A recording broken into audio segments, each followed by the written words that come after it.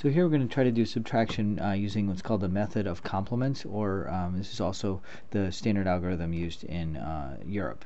And so we take a look at the digits we're trying to subtract, and if we can subtract this digit uh, from this digit without uh, ending up with a negative result, then we go ahead and do that. So 8 minus 3, and we'll put a 0 in here to indicate that. So 8 minus 3 is equal to 5.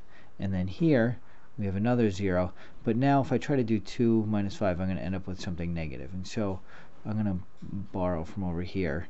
Um, and so we're going to have a 10 here, and we'll have a 9 over here. Uh, and so we have 10. We'll do this spot here. Let's label it so that we know what we're doing. Is 10 minus 5 plus 7. So I take uh, plus 2, I'm sorry. So I take this 10, subtract the 5, and then add back in the 2 that's up top. So 10 minus 5 is 5, plus 2 is 7. So I get a 7 here. So again, 10 minus 5 plus 2. And now here I have 9 minus 4 is 5.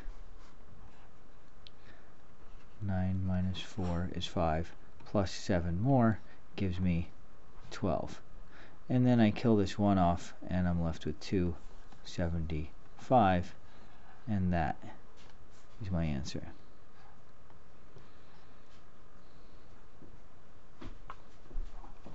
Alright, so we'll try another one of these.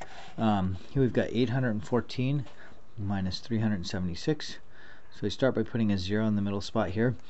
If I try to subtract uh, 6 out of 4, I'm going to get a negative result. And so we're going to borrow um, from the nothing that's there. And we have 10 uh, in here. And so we're going to do, again, 10 minus 6 plus 4. So 10 minus 6 plus 4. 10 minus 6 is 4. 4 plus 4 is 8. Let's try to make that legible. Now in this middle position we've got um, 9 minus 7 plus 1. So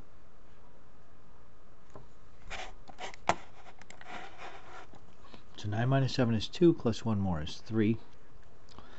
And then we have this other 9 here. 9 minus 3 is 6. Plus 8 is 14. Kill off this 1 for no particular reason. And I get 438 as the result.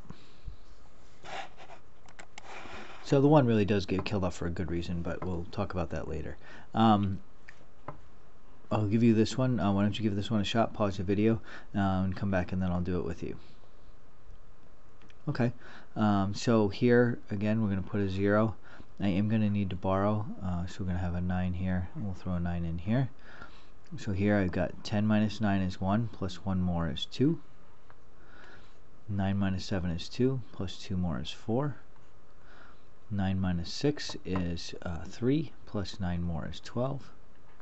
So you get 1, 2, 4, 2, kill off the 1, and I'm left with 242 is my final answer.